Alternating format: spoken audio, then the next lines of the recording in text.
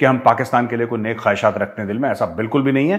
तो आप ये मत सोचिएगा कि मेजर साहब खुद तो आप डेली पाकिस्तान की क्लास लेते हो, और अगर किसी ने कुछ बोल दिया तो आपको बुरा लग गया, ऐसा बिल्कुल भी नहीं है। राइट लेकिन ये जहर उगलते उगलते ये भूल गए अमजद शोएब साहब, लेफ्टिनेंट जनरल रिटायर्ड, कि अपने मुल्क के खिलाफ जहर, क्योंकि बेसिकली देखो, सांप की नीयत तो सांप की नीयत होती है।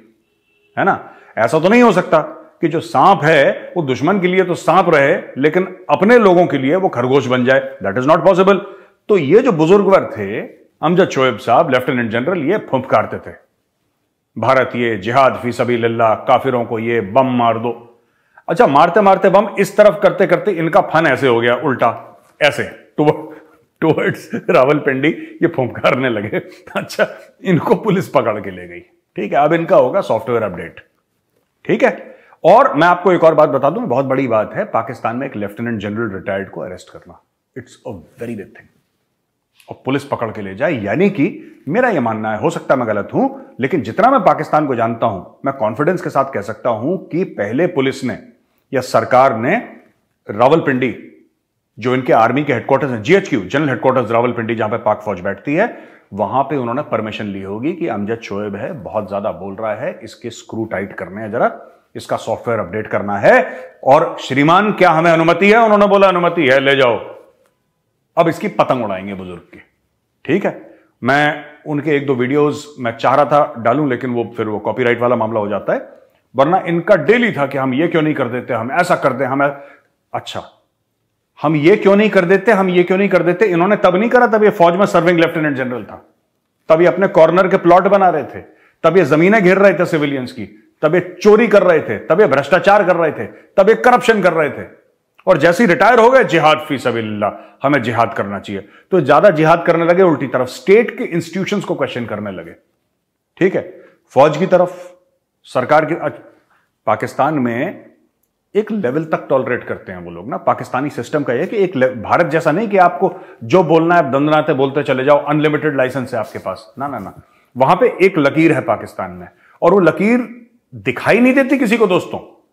वो लकीर महसूस करी जाती है। और आपको पता लग जाता है कि कब आपने वो लकीर वो लाइन आपने पार कर दी है। तो भाई साहब ने बुज़ुर्ग ने चचा ने वो लकीर पार कर दी चचा को अंदर ले लिया। ठीक है? और हो ना हो आ, पाकिस्तान आर्मी के आशीर्वाद से इनको अंदर लिया गया तो ये बहुत बोलते थे जिहाद करना चाहिए ये भी चाह रहे थे कि झंडा वंडा लाल किले पे सब्ज परचम अपना लहरा दें पाकिस्तान का। इनके बड़े मन की ख्वाहिश थी।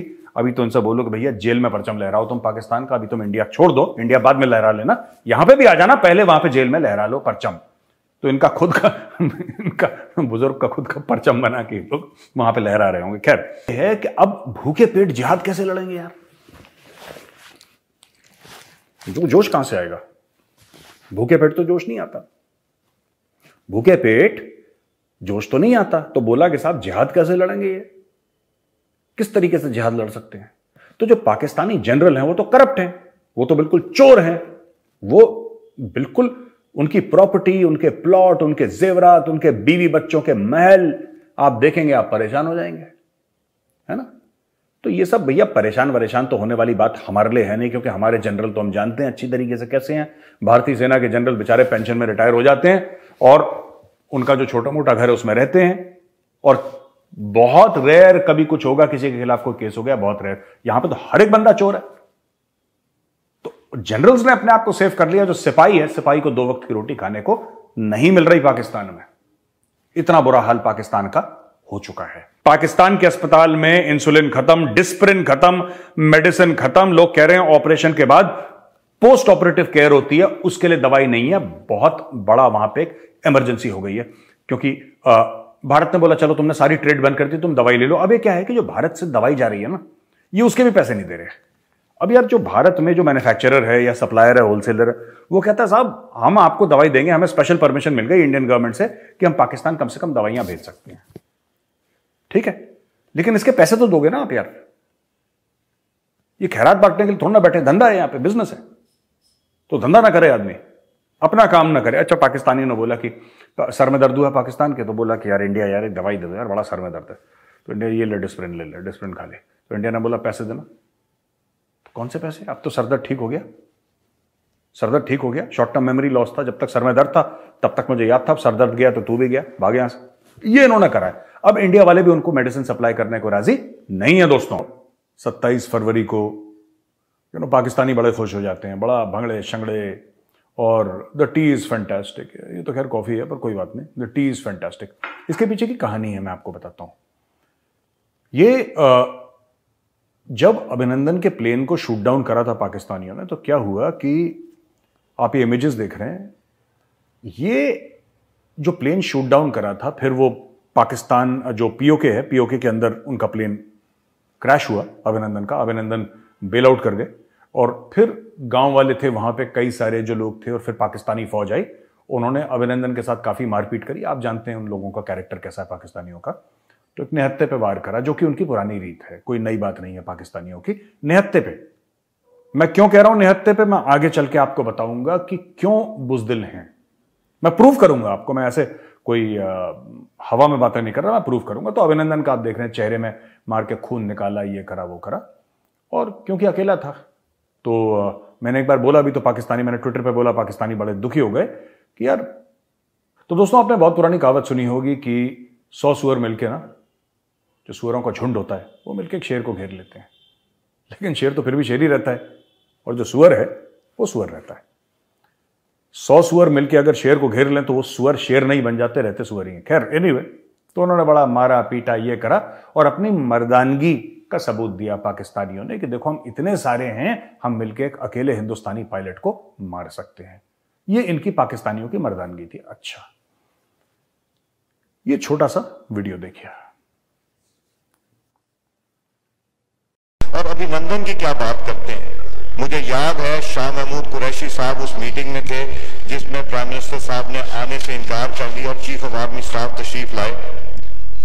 पैर काँप रहे थे।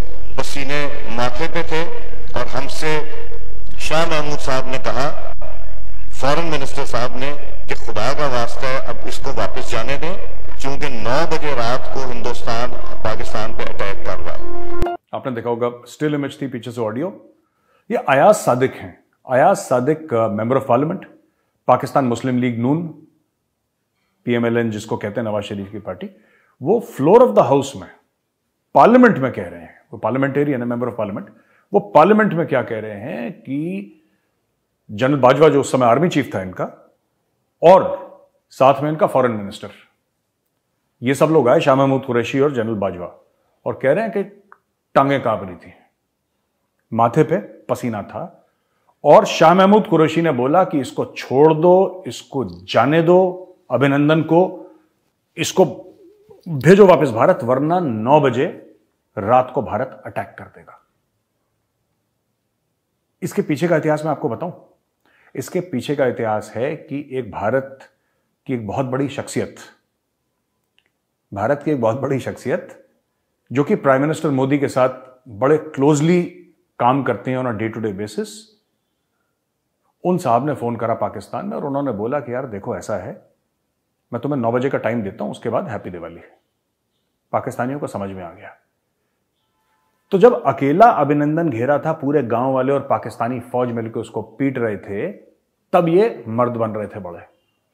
और दिल्ली से एक फ़ोन कॉल गया तो टांगे जो है वो कांपने लगी, माथे पे पसीना आ गया, हाय हाय होगी पूरी पार्लियामेंट। अभिनंदन को एक नई ब्लू जैकेट दी उन्होंने।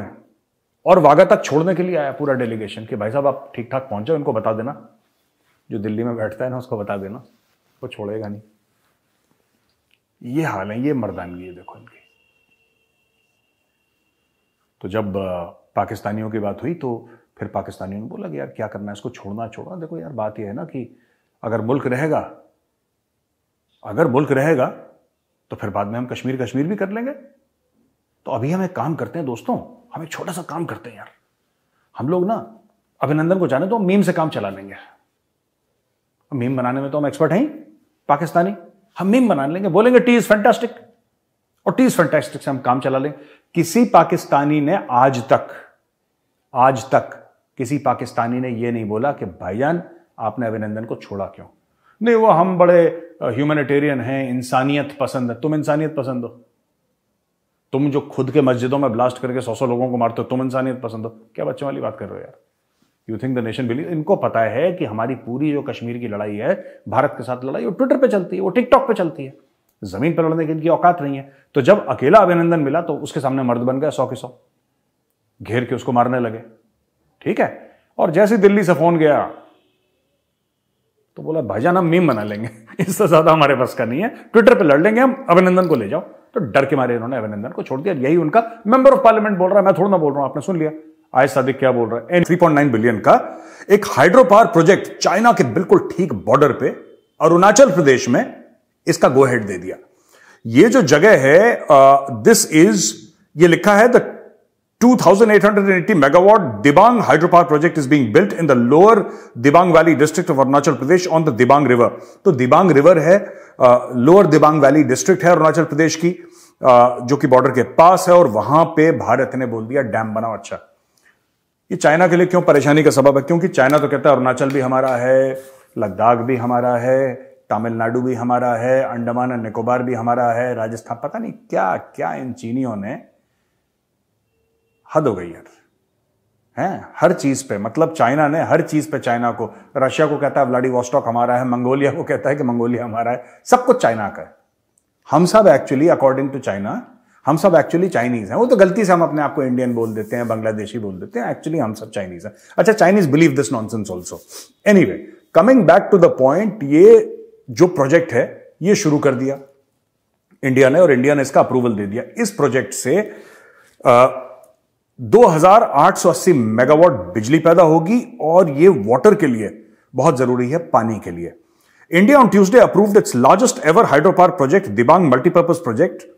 In the mountainous north eastern region bordering China in a move to build renewable generation to meet rising power demand the project will be develop by national hydro electric power corporation, NHPC limited. ये Bloomberg की report है। अच्छा अब the project primary objective ध्यान से सुनिएगा दोस्तों project primary objective is to serve flood control and is based on storage once build the 278 meter tall dam will be India tallest the government of Arunachal Pradesh will receive one three four six point seven six M U और 12 percent of the project cost after completion यानी कि state जो है अरुणाचल उसका भी ध्यान रखा गया है। और बाकी लोगों का भी ध्यान रखा गया। चाइनीज़ इससे बहुत खफा होंगे। अरुणाचल प्रदेश में भैया, हमारा कोई मंत्री चला जाए, प्रधानमंत्री चला जाए, राष्ट्रपति चला जाए तो चाइनीज़ वहाँ से प्रोटेस्ट करते हैं। क्यों आ गए? क्यों आ गए? हमारी ज़मीन है। मैं आपको बता रहा हूँ। ये ऐसे पागल लोग हैं, वहाँ पर भी प्रोटेस्ट करते हैं। ठीक है?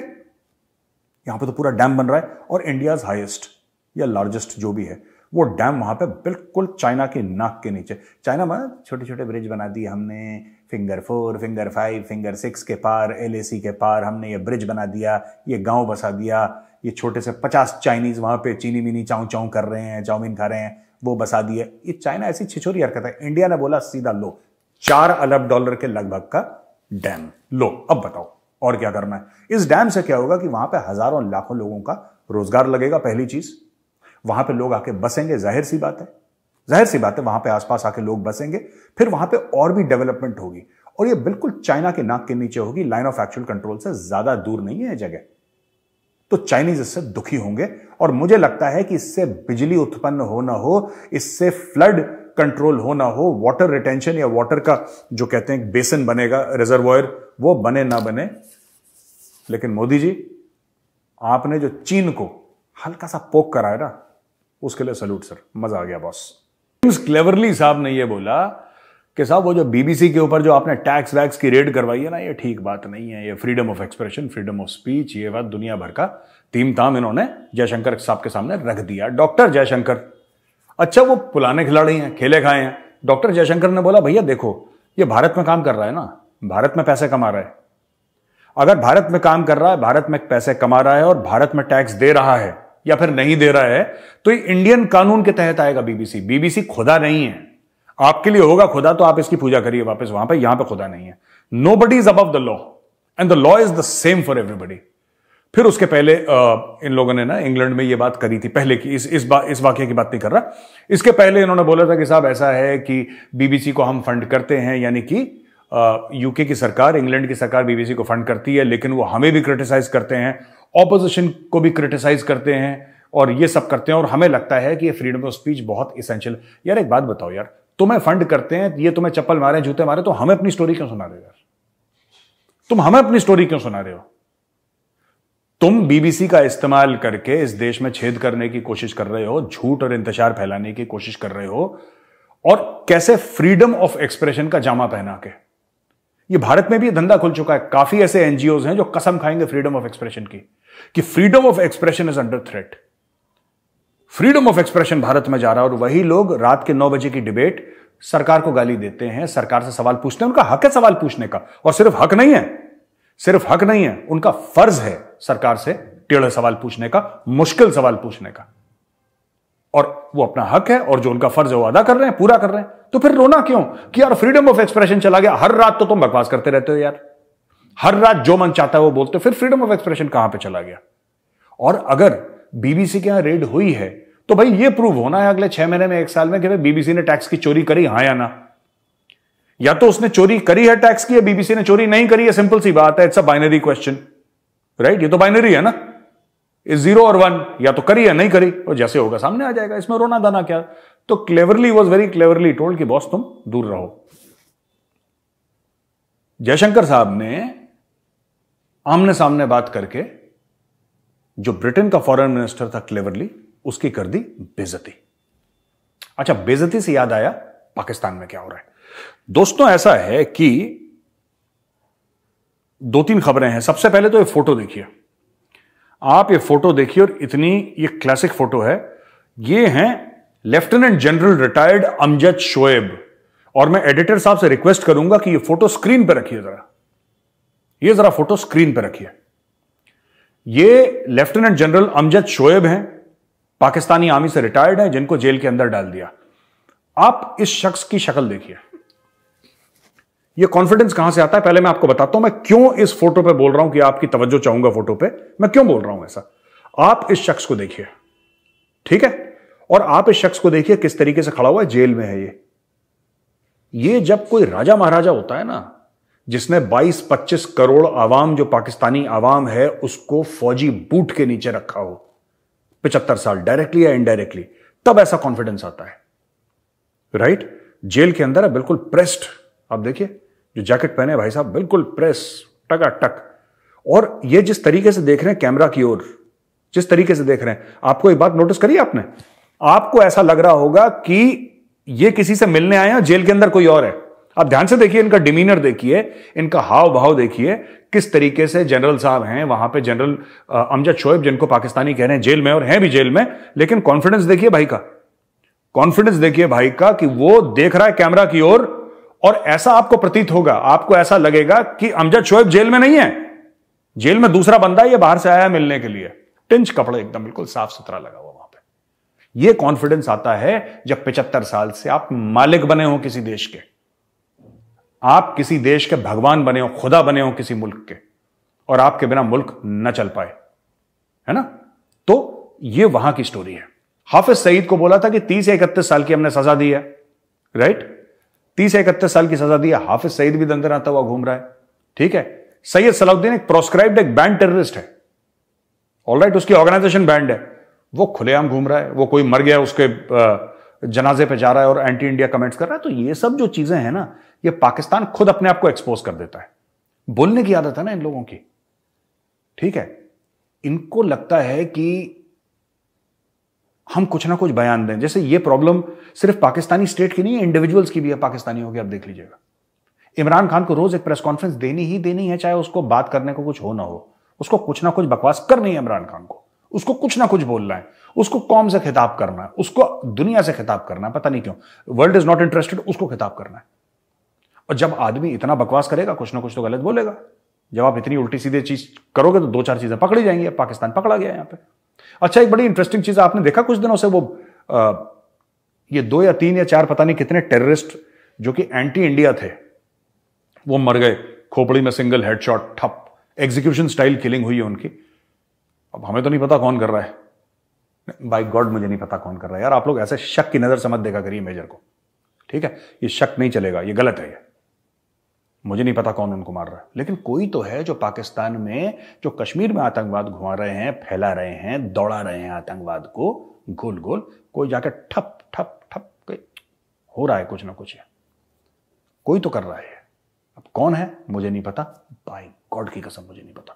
ये कुछ नहीं है, जो एडमिरल अब्दुल समद है ना, ये पाकिस्तान का। ये झूठ बोल के गया अपनी नेवी को कि जाओ मुझे टॉर्पीडो खरीदने। वहाँ पे जाके अपने बच्चों के लिए घर वर बना के आया होगा गाड़ी वाड़ी खरीद के बंगला बंगला तैयार करके, एक आध शॉपिंग मॉल खरीद के आया होगा, और कुछ बात नहीं, कोई टॉर्पीडो शॉर्पीडो नहीं खरीदने। पैसे है नहीं इनके पास खरीदने के लिए। इनके पास खुद का पर्सनल वेल्थ बहुत है पाकिस्तानियों के पास।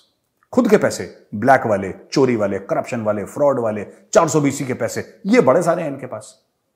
अपने लोगों को खिलाने के लिए रोटी नहीं है, लेकिन खुद बाहर की शॉपिंग चल रही है। तो ये जितने भी एडमिरल एडमिरल इनके, एयर मार्शल इनके जनरल हैं, करोड़पति, अरबपति हैं, कोई बड़ी बात नहीं। सरकारी खर्चे पे गया होगा, वहाँ पे बंगला बंगला डाल के आ गया इटली में, बोला कि ठीक है, मैं यहाँ पे ऐश करूँगा यार, ठीक है, और झूठ बोल दिया कि मैं टोरपीडो टोरपीडो खरीदने के लिए तेरे पास पैसे नहीं है यार, कौन सा टोरपीडो?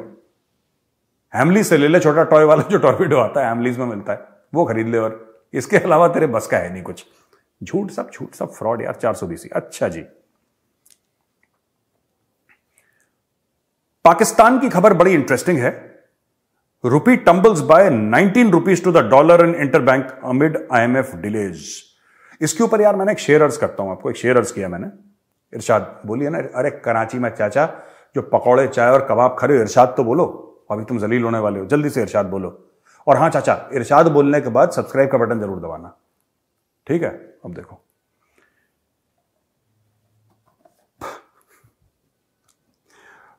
पाकिस्तान का रुपया बन गया है टिश्यू। पाकिस्तान का रुपया बन गया है tissue.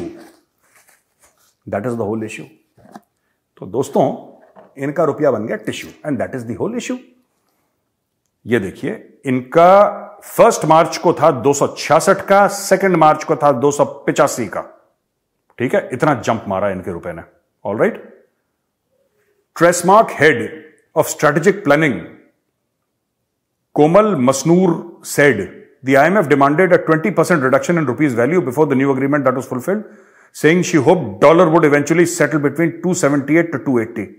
Basically क्या है मैं आपको बताता हूँ इसमें चक्कर क्या है मैं आपको कॉन्सेप्ट एक, एक कॉन्सेप्ट समझा देता हूँ ठीक है ना इसमें यह है कि पाकिस्तान में अलग अलग लेवल पे करेंसी चलता है ठीक है क्योंकि जैसे पाकिस्तान में ना अलग अलग कैरिकुलम चलते हैं अलग अलग स्कूल में गरीबों के लिए अलग सिलेबस यू नो जो अमीरों के लिए अलग सिलेबस जो रिलीजियस लोग हैं, मदरसे में पढ़ते हैं, उनका अलग, जैसे तो करेंसी भी अलग अलग लेवल चलती। एक, इसमें बड़ी एक बात मैंने कुछ दिन पहले मुझे रिसर्च के दौरान पता लगा कि एक, उनकी रुपए की ना अगेंस्ट द डॉलर एक पेशावर वैल्यू है। ये पठान क्या करते हैं? ये बीस रुपए हर एक डॉलर पे ज़्यादा देके उसको पेशावर वैल्यू ऐसी कहा जाता है, उसको ऐसी चलते फिरते तो वो पेशावर एक्सचेंज रेट पे उसको खरीद लेते हैं। जैसे फॉर एग्ज़ाम्पल अगर पाकिस्तान का रुपया 280 का है तो वो तीन सौ रुपए दे देंगे। अगर 250 का है तो 270 दे देंगे और डॉलर लेके गायब हो जाएँगे। उसको पेशावर एक्सचेंज रेट या Peshawar value of the Pakistani rupee कहते हैं। तो बेसिकली क्या हो रहा है कि अलग अलग लेवल पे अलग अलग ड्रामा चल रहा था। आईएमएफ ने बोला कि आप सबको कंसिडर करो। और जो सरकारी तौर पे आपने आर्टिफिशियली डॉलर को रोक रखा है रुपए की वैल्यू रोक रखी है आर्टिफिशियल डॉलर को तो क्या ही रोकेंगे ये? आर्टिफिशियली रुपए की वैल्यू रोक रखी है, उस पर हाथ हटाओ पहले। हाथ हटाया, एक दिन में अठारह रुपए क्रैश करा, एक दिन में। पाकिस्तानी रुपए का बच गया बैंड ठीक है? और फट गया ढोल। ये हो गया है। अब अच्छा इसमें यह गारंटी नहीं है कि आपके पास दो सौ अस्सी रुपए हों। या दो सौ पिचासी रुपए जितने का भी है ये, दो सौ पिचासी, दो सौ नब्बे रुपए हो तो आप जाएँ तो आपको डॉलर मिलेगा। डॉलर है नहीं वहाँ पे। बहुत मुश्किल, और अगर आपको पाँच सौ डॉलर भी चाहिए ना तो आपको कितने पापड़ बेलने पड़ते हैं? ये फॉर्म भरो, ये फॉर्म भरो, ये फॉर्म भरो। पाकिस्तान का बहुत बुरा हाल है। और पाकिस्तान का ये सब जो बुरा हाल है, आईएमएफ ने कर रखा। आईएमएफ कह रहा है, यार, अब तुम्हारे झांसे में हमने नहीं आना है। तुमने बहुत झूठ बोल दिया भाई, बहुत झूठ बोल दिया। तुमने झूठ बोल बोल के मक्कारी चार सौ बीसी फ्रॉड, करप्शन कर करके आईएमएफ इन्होंने आईएमएफ की जेब काट ली बाईस बार। इन्होंने बाईस बार पाकिस्तानियों ने आईएमएफ को बोला कि हम सब ठीक कर देंगे, लाओ पैसा। इन्होंने बोला, लो। अच्छा अंग्रेज़ वैसे बेचारे भोले होते हैं इस मामले में, इस मामले में because they are more trusting of people generally मैंने यू नो देखा है वेस्ट में। होते बदमाश वो भी हैं वैसे, पर उनकी बदमाशी ना, मैं आपको बताता हूँ, जो गोरे की बदमाशी है ना, वो हायर लेवल की बदमाश वो छिचोरी हरकत नहीं करते, है ना? वो छिचोरी हरकत नहीं करते, ये छिचोरी हरकत इस इलाके की है। तो पाकिस्तानियों ने दिखा दिया देसी रंग, पाकिस्तानियों ने उनकी जेब काट ली। अब उन्होंने बोला है कि पहले तुम सब कुछ सेट करोगे, तब हम बताएँगे, हम तुम्हें पैसा देंगे, नहीं देंगे, और देंगे पैसा।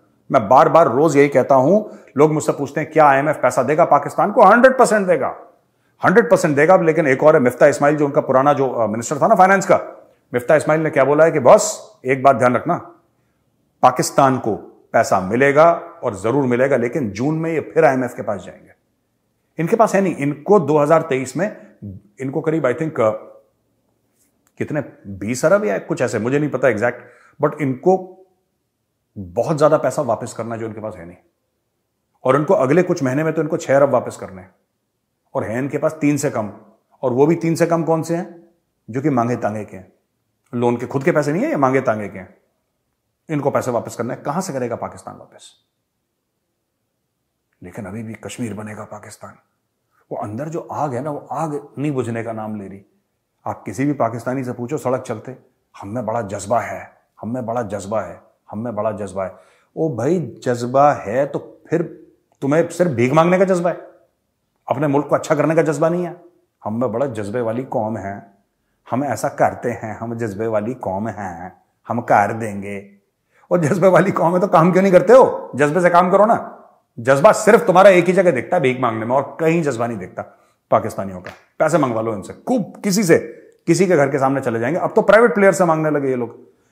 अब इन्होंने बोला कि हमने इतनी एक्सपर्टीज डेवलप कर ली है, मांग मांग के, मांग मांग के इतने एक्सपर्ट हो गए हैं कि अब चाइल्ड के सामने यहूदियों से भी पैसे मांग रहे हैं, सबसे पैसे मांग रहे हैं, जो दे दे, जिससे पैसे पकड़ने क्योंकि वापस इनको नहीं देने।